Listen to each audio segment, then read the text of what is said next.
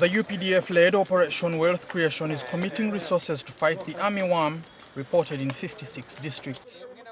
Over 20 districts among those affected will receive a pesticide known as Striker to help in averting the deadly army worm which has devastated crops across the country. Agriculture Minister Vincent Sempijja revealed how the worm was first detected in Kasese, Kayunga and Bukedea, where it was discovered to have destroyed over 40% of the crops in the field.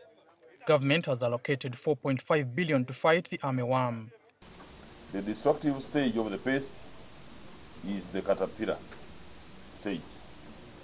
It can be identified by its inverted Y mark on the front of the head and four large spots towards the end of the abdomen. The armyworm consumes more than 80 plant species, which include cereals and legumes.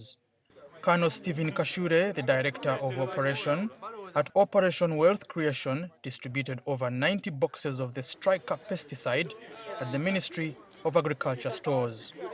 The armyworm hides itself during the day. It fears heat. If you spray during the day, you will have wasted the pesticide. When spraying, e nozzle, nozzle, the nozzle e, which sprays, eh, the end which looks like this.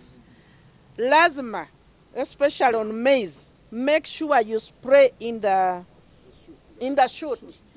There you must point direct because the caterpillar is hiding in that part. More than 90 boxes have been distributed here, and more are still lying in this store for distribution uh, to several districts that have been affected by the armyworm.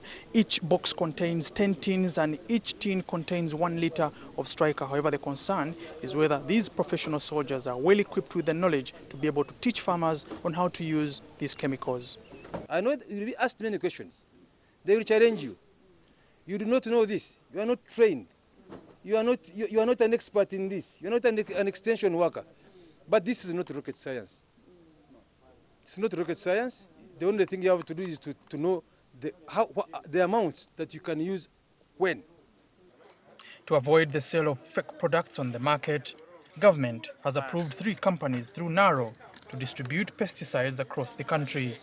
These are Bukoola Chemical Industries, Nsanja Agrochemical Limited, and Uganda Crop Care Limited.